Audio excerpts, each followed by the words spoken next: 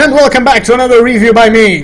Um, I'm Psycho, and in this part we're going to be doing Dragon Ball The Legacy of Goku, the first part. Oh, hello there, gorgeous. Who's that handsome devil in that corner? Oh wait, that's me. Alright, um, so yeah, on to the review. Um, Dragon Ball Legacy of Goku, one of the first Dragon Ball games, um, Dragon Ball Z games to be released for the Game Boy. Um, it's kind of an open world game um, that features the story of the first, um, of the arrival of the Saiyans and the Frieza saga. Um, the game itself is a bit short, um, so it can be completed really quick. Um, not many powers are introduced in the game. Pretty much all of the powers that you get are the Energy Blast, the Solar Flare, and the Kamehameha Wave. So you have those three and um, your basic attacks to operate with throughout the whole game.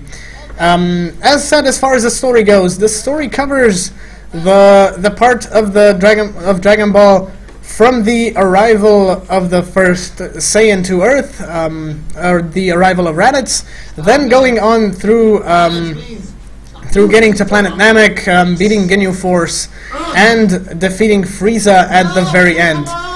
Um, so yeah, pretty much the game itself isn't really easy. It's quite difficult and requires a lot of grinding throughout the uh, throughout the game um, to keep up with the with the level of the enemies that you face. You can't just uh, kind of run through through the game without doing any grinding, unless you're really good at running and hitting people without getting hit.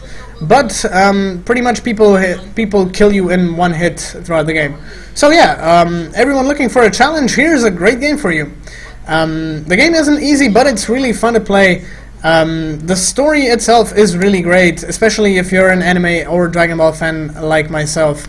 Um, so, yeah, I recommend it to all of you guys who like Game Boy games. Um, get an emulator somewhere, buy it from the internet or something. Um, buy the cartridge or just um, get something for your computer.